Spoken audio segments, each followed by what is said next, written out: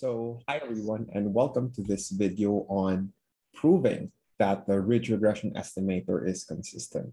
So we're given here with the ridge regression estimator uh, in this particular form, which is here standard in any textbook that you may have.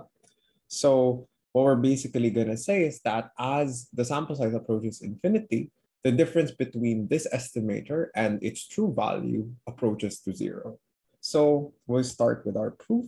Okay, so uh, we're gonna start off by uh, just basically plugging in a value for this y sub i. So y sub i is, uh, sorry, y sub i is equal to xi prime beta plus e sub i.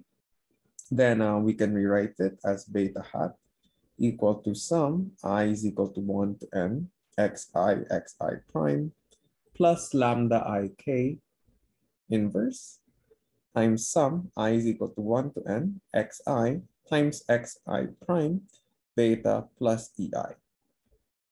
Then we can simplify this side of the equation. Okay, i equals 1 to n xi xi prime plus lambda ik inverse.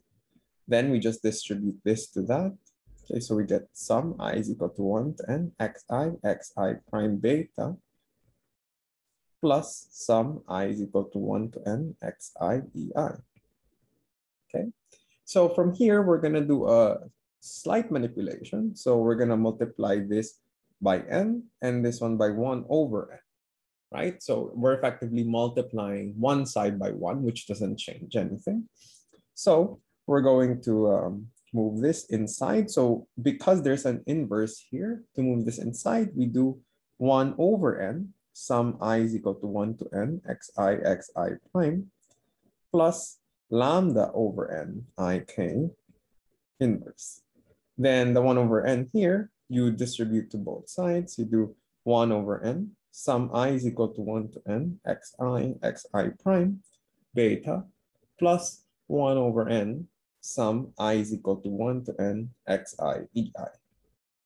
Okay, then uh, again from here, okay, we're gonna try to appeal to a couple of facts that we know.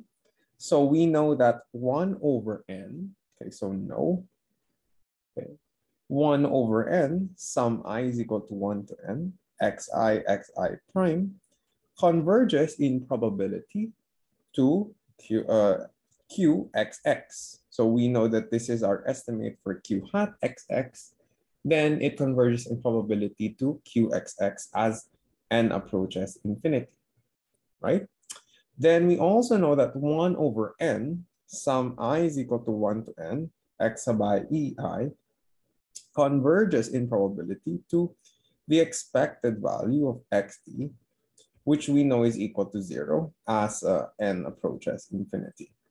Okay, so uh, we're basically uh, going to be left with uh, just one more term with an n, so that's lambda over n ik. All of those things are determined. If n goes to infinity, clearly, of course, this term will go to zero because lambda is some fixed value. So it will converge uh, in probability to zero, which would mean that it would be equal to uh, small o p1. Okay, uh, sorry, small o1 rather, because it's all known, small o1. Then we can rewrite everything. This first one as just a QXX plus this one is O1, okay, inverse, okay.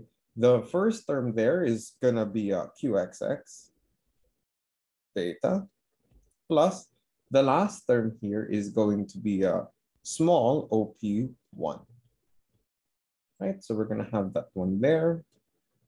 Okay, and again, this term here will tend to zero, so that's just qxx inverse times qxx beta, right?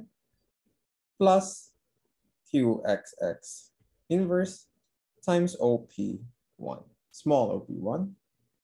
You know, uh, and uh, we know, okay, from here, uh, clearly these two will cancel out, so we're left with beta.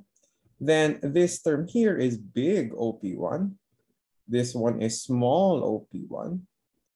And we're going to be left with beta plus big OP1 times small OP1. The small OP1 will triumph.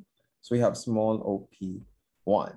So this is beta hat, and clearly this is our conjecture for a consistent estimator. So beta hat, which is the ridge uh, regression estimator, is a consistent is a consistent estimator of beta. And that ends our proof. So thank you for your attention and I'll see you in the next video. Thank you very much.